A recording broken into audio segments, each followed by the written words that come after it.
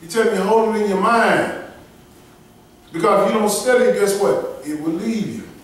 I know because a lot of scriptures I could quote, I'm like, man, I know I know these scriptures. I go back and Google it. I'm like, man, I can't even find it. Because it's so much in here. It's so much. Hold on to it. Go ahead. Him that overcometh will I make a pillar in the temple of my God. That's what I want. And he shall go no more out. And I will write upon him the name of my God, Yes, sir. and the name of the city of my God, which is in New Jerusalem, which cometh down out of heaven from my God. And I will write upon him my new name.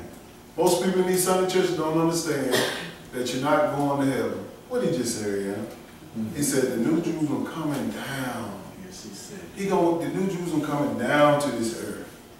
What they tell us all day long, Sister so and so done went to heaven. They done went to a lie because you can't read that in here. That's what he telling you. Hold on to it. Don't let them tell you that this man, this, this person body is here, but his spirit gone to God.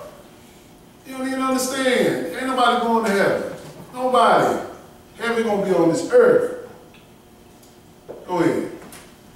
He that has an ear, let him hear what the Spirit says unto the churches. If you ain't got to hear for this, you you will reject what I just said, what we just read. You can't hear it because you've been taught this all your life. Because I know I have. Mm-hmm. They didn't teach me that the New Jerusalem was coming down. Let's read that. Revelation chapter 22. Let me show you. For some of these unbelievers online and might be some in here.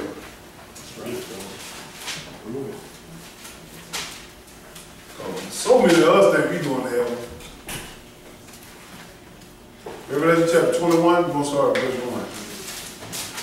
I said 22. 21, verse 1. Verse 1. Go ahead. And I saw a new heaven and a new earth. Mm-hmm. For the first heaven and the first earth was passed away, Mm-hmm. and there was no more sea. This is when the new heaven is going to be purified. God set this earth on fire, He going to purify, He going to make it clean. He going to clean all the water up and everything. Go ahead. And I, John, saw the holy city, New Jerusalem, He saw the holy city now. City, what it doing? Go ahead. coming down from God out of heaven, prepared as a bride adorned for her husband. Coming down from God. New Jerusalem, that many mansion that we always quote, that we want to be in God mansion, is coming down to the earth. Go ahead. And God shall wipe away all tears from their Verse eyes. Oh, oh, verse 3, I'm Mhm. And I heard a great voice out of heaven saying, Behold, the tabernacle of God is with men Where is men at right now? on the earth. With men. Go ahead. And he will dwell with them. So you mean to tell me God gonna dwell with us? Y'all don't realize God gonna He gonna govern the whole universe from earth in Jerusalem. Go ahead. They shall be his people, and God himself shall be with them and be their God. Yes, sir. This is the time God gonna be with them on earth. Let's see it again. Jump down to verse ten. Go ahead. Or read verse seven. Verse seven. Go ahead. He that overcometh shall inherit all things, Mm-hmm. and I will be his God, and he shall be my son. If you overcome these, these tricks of the devil, and you can hear, you can get this. But if you can't hear this, you can't have it. Go ahead. But the fearful, and the unbelieving, and the abominable, Mm-hmm. and murderers, and whoremongers, and sorcerers, and idolaters, and all liars shall have their part in the lake which burneth with fire and brimstone, which is the second death. You better check yourself, see if you got some of this in you. Go ahead. And there came unto me one of the seven angels which had the seven vials, Yes, sir. full of the seven last plagues, Mm-hmm. and talked with me, saying, Come hither, I will show thee the bride, the Lamb's wife. That lamb's wife, we know, is the church. You're going to see the lamb, that's Jesus. It's a marriage. That's going to happen. It's just symbolism, that's all. Ain't nothing too hard to figure out.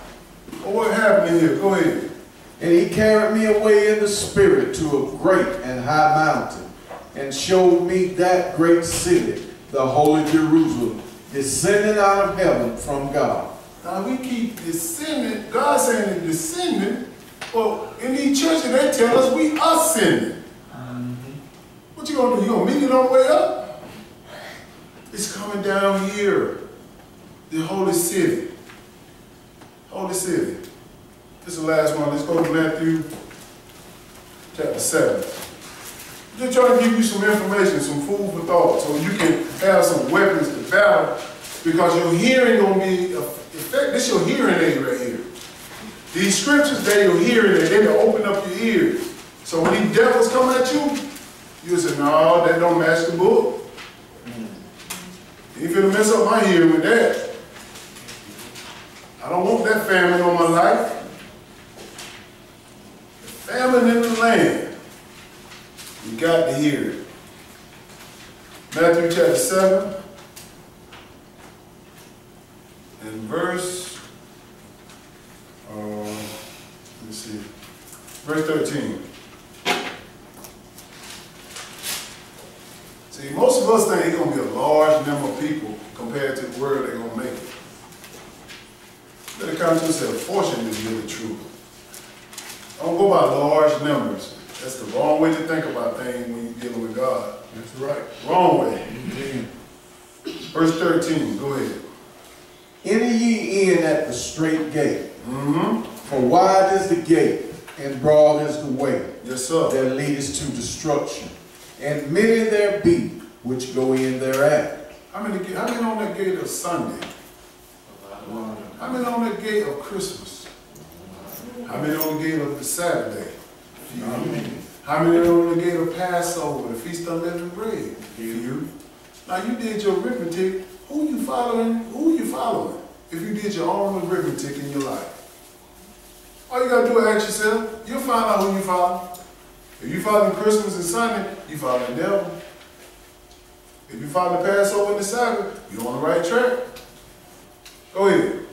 14. Mm-hmm. Because straight is the gate, Yes, sir. narrow is the way which leadeth unto life, and few there be that find it. Like I said, very few on this. Do your process elimination. Check out the bar. See when everybody dressed up in their nice clothes and where they going. Check out today. Everybody going about their own pleasure on the Lord's Saturday. They buying, they selling, they working, they doing all this stuff that God told them not to do. But very few like us, a small number, we trying to do it. He looking. He trying to see who want to be in his kingdom. Go ahead. Beware of false prophets, Mm-hmm. which come to you in sheep's clothing, but inwardly they are raven wolves. You know how Israel is. We get confused when folk got nice clothes on. That's right. Jewelry, Come on. cars, and everything. Oh, they got to be holy. Man, that's the biggest devil ever. You know how we do it now. We can't get confused about this nice stuff, this pleasure. Mm. And look at Jeff riding around the broke down truck. That man ain't got no truth. How you riding around that broke down truck? He barely can make it, skipping. Go ahead, brother. Uh, verse 16. Ye shall know them by their fruits.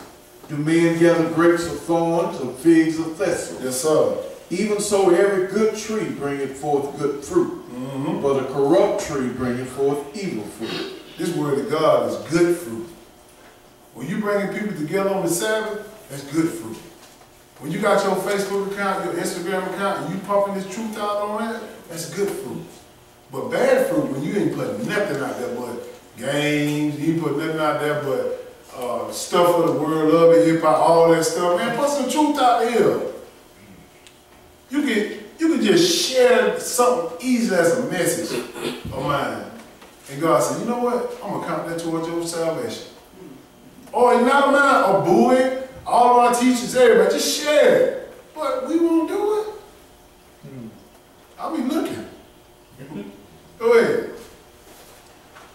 Go ahead. A good tree cannot bring forth evil fruit, Mm-hmm. neither can a corrupt tree bring forth good fruit. Yes, sir. Every tree that bringeth not forth good fruit is hewn down and cast into the fire. And you know what he's talking about now? That tree is us. They gonna cast it, God gonna cast it down, they gonna cast whoever not about this word in the lake of fire. And we don't want that. Be hearers. Go ahead. Wherefore, by their fruits ye shall know them. You gonna know them by the fruit. You gonna know them by Sunday. You gonna know them by the Sabbath. You gonna know them by the dietary law. You, you can know if a person got good fruit just by what they eat on their plate. Like, brother, I praise the Lord every time. Oh, I love Jesus. I'm looking at their plate. They got catfish, they got crab, they got shrimp. I'm looking at their face, I'm listening to what's coming out of their mouth. It don't match. It don't match. Don't be confused about the looks. Everything that look good to you ain't always good for you. Thank you for your time. We gonna stand and close out. It's simple. That's all it is. Take these scriptures home.